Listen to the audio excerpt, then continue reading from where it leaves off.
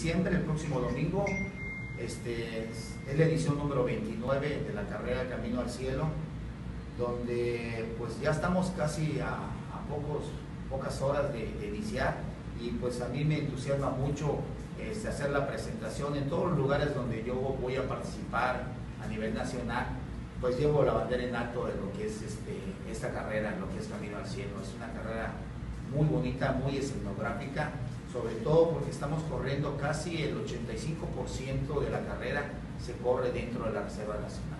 Son 17 kilómetros de la entrada del parque a lo que es la, la meta. Estamos hablando que del parque central, que es la salida hacia el arco, estamos hablando de 6 kilómetros y medio que se corre.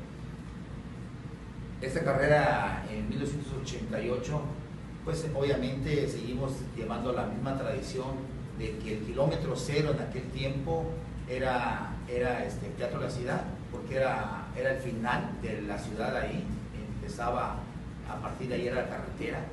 Entonces, obviamente no existía ni el kilómetro 5, ni, ni, el libramiento, ni las casitas, bueno, no había nada.